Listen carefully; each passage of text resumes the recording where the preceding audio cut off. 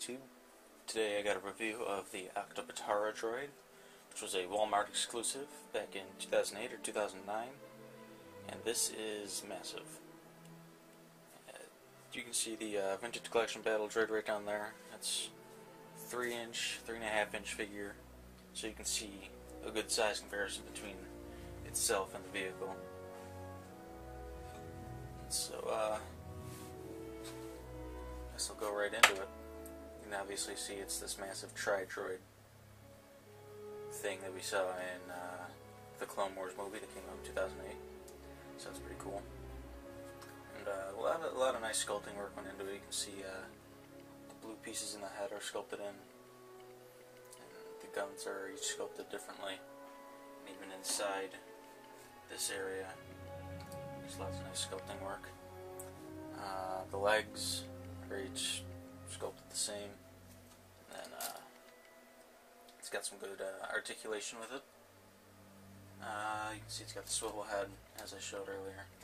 Uh, each is a cre very creaky swivel joint. And then there's a bunch of articulation here, here, and then these feet, toe pieces can be bent in. So that's pretty cool. It's just huge.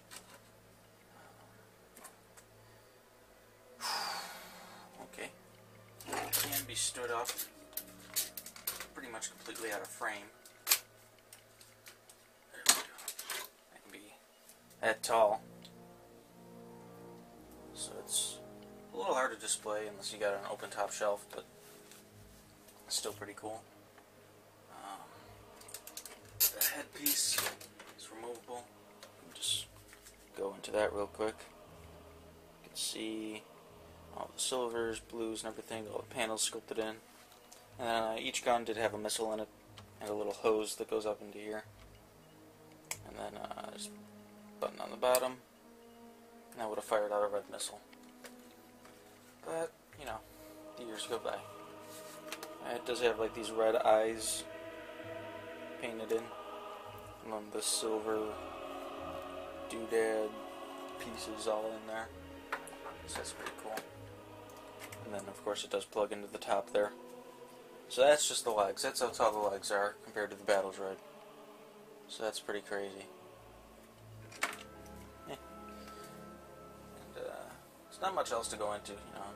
It's tall, well articulated, and uh, it's pretty good.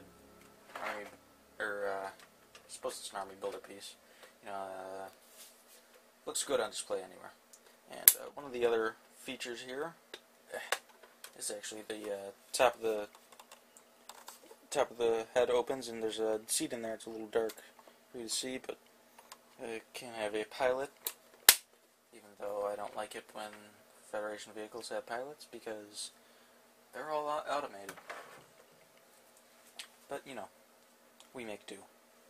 The head is actually a little too big for the uh, legs to accommodate that uh, seat in there, but oh well, right? You know, what are we gonna do about it? it still looks cool. Uh, so, say that's about all I gotta say, and uh, may the force be with you. Hope you enjoyed. Definitely pick this up if you can. He's uh, really, really cool.